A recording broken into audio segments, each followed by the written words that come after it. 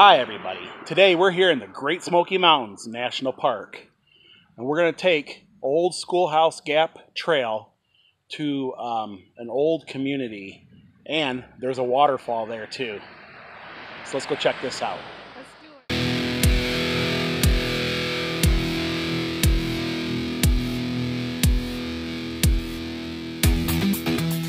We're here in the parking lot, and here's a Ranger's truck, and he's got himself a cage back here. It says danger, do not disturb.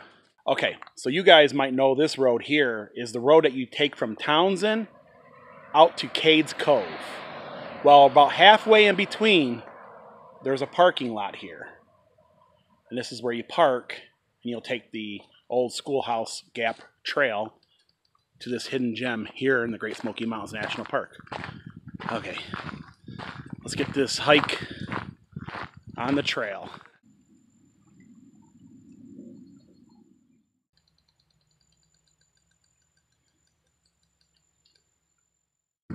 We're on this trail called um, Turkey. No, this is Schoolhouse Gap Road, We're on the Schoolhouse Gap Road. and we're gonna take this trail to Turkey something. It was Turkey something.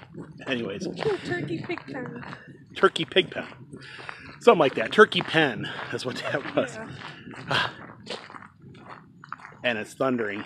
So, yeah, we could have some rain here.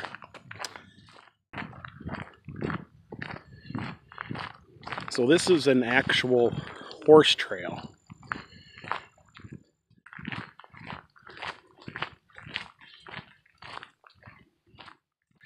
So, the last couple days here in the Great Smoky Mountains, uh, we've had temperatures close to 100 degrees. It's been extremely warm. Um, and it's still pretty warm today. Uh, we're underneath a little cloud cover, but the sun's back out again. So it was thundering a second ago, and now the sun's back out. But, so I'd say what? It's in the 70s, I believe, right now.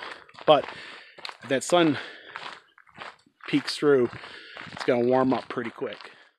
So this trail is supposed to take us 1.1 miles to Turkey Pen.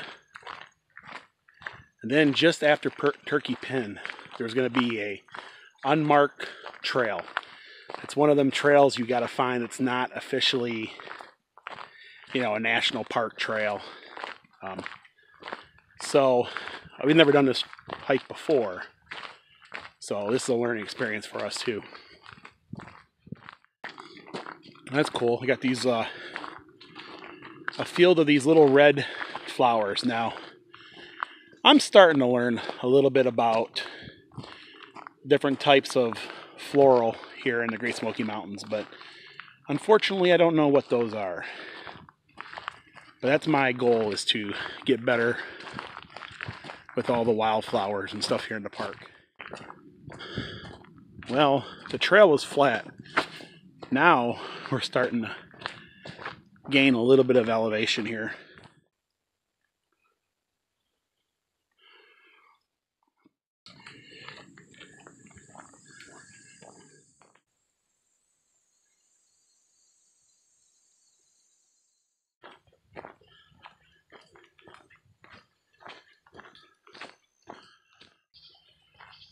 Okay, so like back in the day, you could tell that this might have been an actual farming field here. So it's been something like, I don't know, 12 days since we've been on a hike. So, yeah, I've been jonesing ever since then. And it feels so good to get out here and listen to the cicadas and and just the wildlife, take it all in. Absolutely beautiful. Okay, so we come up to a sign It says Turkey Pen Ridge Trail that way, and then Schoolhouse Gap Road to Chestnut Top Trail that way. We're going to take Schoolhouse towards Chestnut Top, but I believe this trail should start shortly after this year. Okay, so right from that intersection, you come up to this. This is the trail we want to take. You can hear the thunder in the background. Pretty much it's made so the horses don't go down, but danger. Bears are active in this area. And then there's even a second sign. Alright, so we definitely got to be on the lookout for bears. And we'll just zigzag through here and continue on.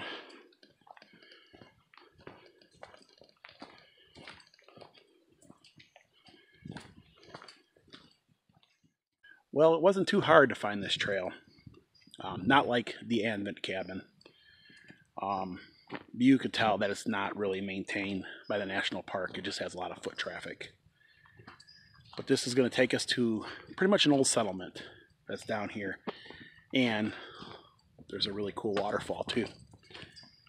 Okay. I'm going to keep a lookout for bear. This is actually a pretty cool little trail here. It looks like they came through here just recently and bushwhacked some of the foliage.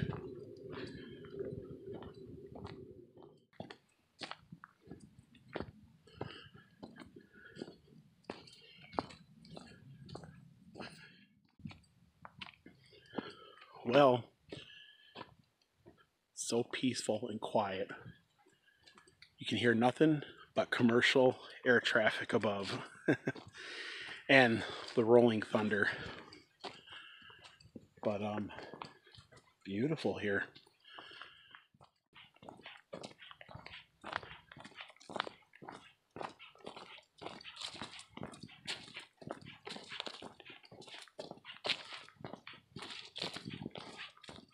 This is really cool. You can see all these little seedlings. You see all the little seedlings, honey? Yeah, they're pretty. Yeah. Beautiful.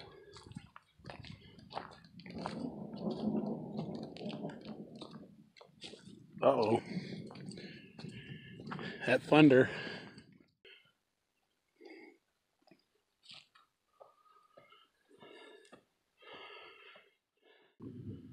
Okay, so we're on this trail and we ran into two rangers. They're down here trying to trap some of the wild hogs here in this area. So that explains the truck. Um, yeah, that was for hogs.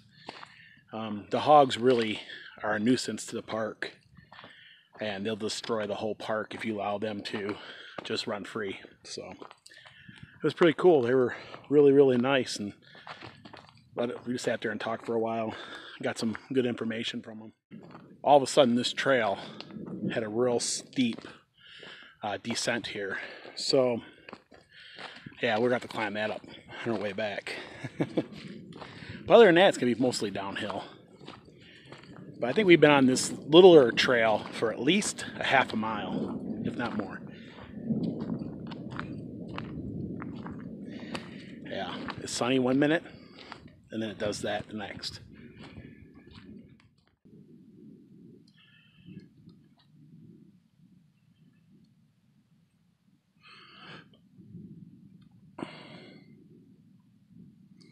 Be careful, that's real slick there, babe.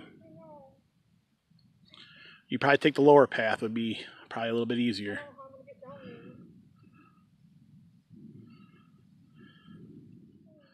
I know it's hard to show up on the camera, but you could tell wild hogs have all been through here. And we were running into those rangers earlier. They told us they set up a net. And here's a sign that says wildlife wildlife monitoring, wild hog management. Do not disturb. So then we come over to here, and you can see that net. And they put some uh, corn down the, the pigs will go down in there and then the net will fall on them and then they'll get them. Crazy, huh? Yeah, you can see where the net is. And then the feed for the, the pigs. I'm gonna tell you, this area has been totally destroyed by these hogs.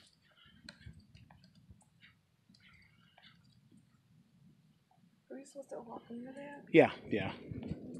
Just don't touch any of the uh, netting. the netting and stuff. So you can smell the fresh dirt that these hogs have tore up. And man, they really damaged this. Wow. I mean, I know like one pig can destroy like literally acres themselves. Okay, so okay, so we're in this area, and this is the area we want to be in. It's called White Oaks Sinks. So back in the day, this used to be a community out here, and you can see like relics of that community. So we're gonna search for them. Then there's also a waterfall called Rainbow Cave Falls. So we're gonna try to find that too. And then there's two caves out here, and we're gonna try to find those, but we can't go inside. And I'll tell you about that more in, in a minute. There's a great big huge rock ledge up here. Wow, and the the temperature just dropped dramatically. So I'm not going to go too close to this cave. But you can actually feel the cold air just roaring out of this cave. I mean, it has dropped probably 20 25 degrees on the outside. And you can see that they've enclosed this cave off because this cave is protected. I'll show you this sign over here. Okay, so this is a protected habitat for a bat called the Indiana bat. It is an, actually an endangered species of bat. And there's only a few places in the park that it's found. And this is where they live. And we definitely do not want to disturb them whatsoever. So as you can see, uh, there's solar panels. This is for monitoring equipment for the bats. Um, yeah, and they got electric fence around it because they have hog problems right now with the hogs. So can even see. Okay, so it is warm right now, but we're standing in front of this cave here, and you just feel that cold air just come rushing out. It's like an air conditioner, isn't it? I bet you it was a 30 degree drop out of here. It feels wonderful. yeah, that's awesome. And it's actually kind of all smoky around here. I don't know if the camera will pick it up. I'll try to get some photos of that. But wow, it's amazing. But anyways, we're gonna let these bats be, seeing that they're endangered. So let's have let them have their privacy and let's go see what else we can find in the area. You can actually see like fog from the coldness of this cave coming out.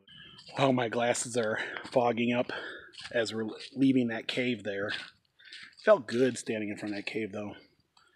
But I am I'm worried about the bats. You know, I know they don't come out until night or or whatever. So what do you think about that bat cave? Really, really cold and misty. Yeah. It's really cool that we all walked up to it and looked at it. But What do you think about them bats being endangered? Indiana bats, they call them. Dawn don't. She wants to stay away from the bats, right? yeah, we don't need to interrupt her um sleepiness. Sleepiness. Okay, so we came up to an old grave here called. The guy's name was called Abraham Law. He was born in 1775 and died in 1844. Wow. Just out here in the middle of the Great Smoky Mountains.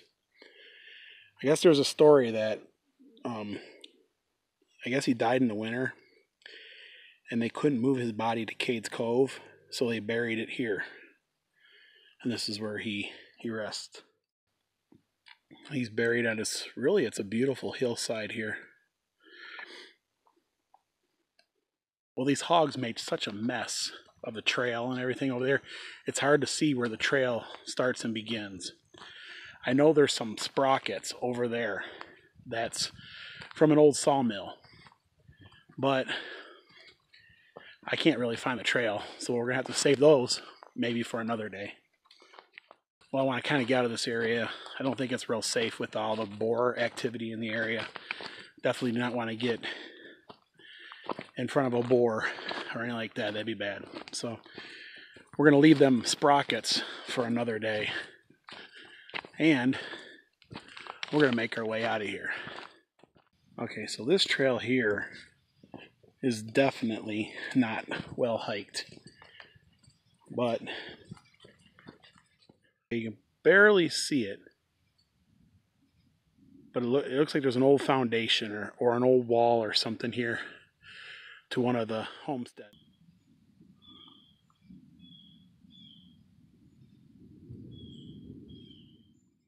Okay, so we're on this footpath.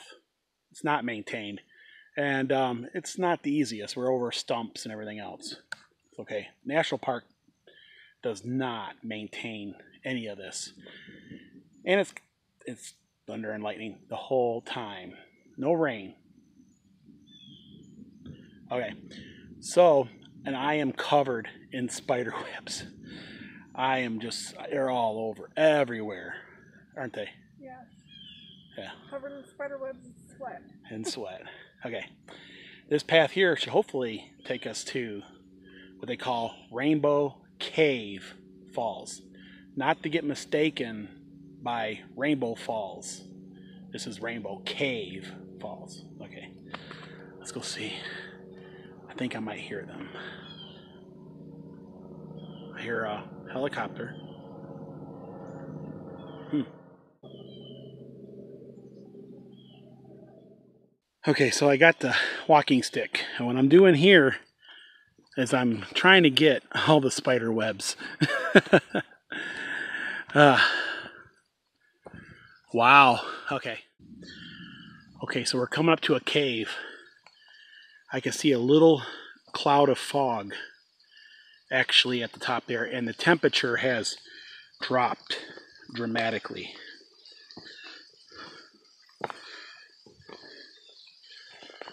Wow. Okay, so I see it.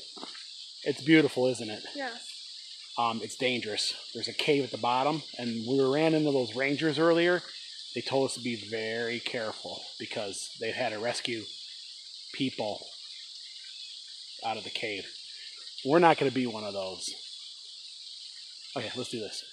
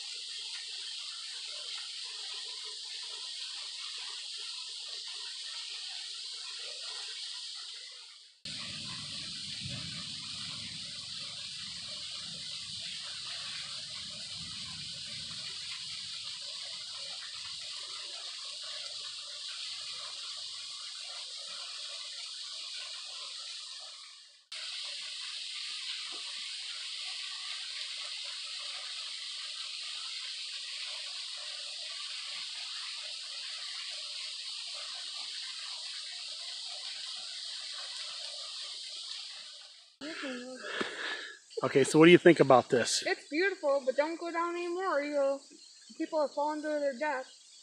And you have to go get a ranger to get someone out of there, and it's not pretty. Well, this here is an absolutely beautiful falls. Uh, this one's kind of different because you don't see like a river or nothing. The water falls down from the top of that mountain there and then goes into the cave. So, and then there's more of those endangered species bats in there. So, we definitely don't want to disturb them. But No. there's no way you can disturb them because if you go down there, you're not coming back up. This is actually real dangerous. I can kind of see the reason why the national park doesn't label this trail and it's not maintained. It's probably mostly due to it's dangerous. So this is as far as we're gonna go, and that's probably the best photography we're gonna get out of this falls. This falls here is absolutely beautiful. And there's a real cool blast of cold air coming out of the ground, which feels awesome on a really hot, muggy day. And as you can see just above us, that's actually fog from the coldness coming out of this ground. Uh, this was definitely worth the hike. Um, even though it thundered the whole time we're on this trail, and it looks like it wants to rain down on us.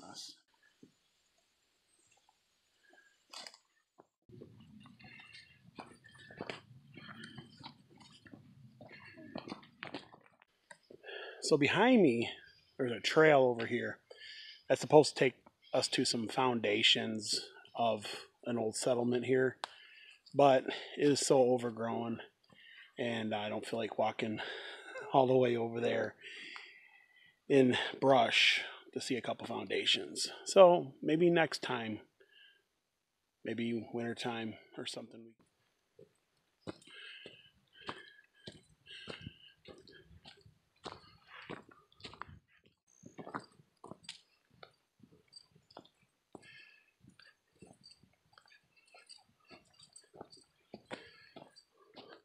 Well, we finally made it back to the parking lot from White Oak Sinks.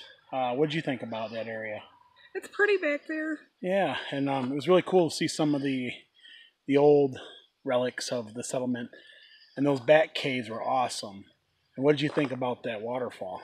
It's pretty. Yeah, Rainbow Falls Cave Falls, Rainbow Cave Falls, Falls. not Rainbow Falls. It's a different waterfall here in the park, but yeah, absolutely beautiful, but a little dangerous. Yes. Um, I think we did what almost five and a half miles round trip. So Well, if you like this vlog, then give it a thumbs up. please subscribe so you don't miss any more of these upcoming Smoky Mountain adventures. And there's gonna be plenty of waterfalls and hikes just around the corner. Until next time. Thanks for watching. Thanks for watching, everybody. Bye.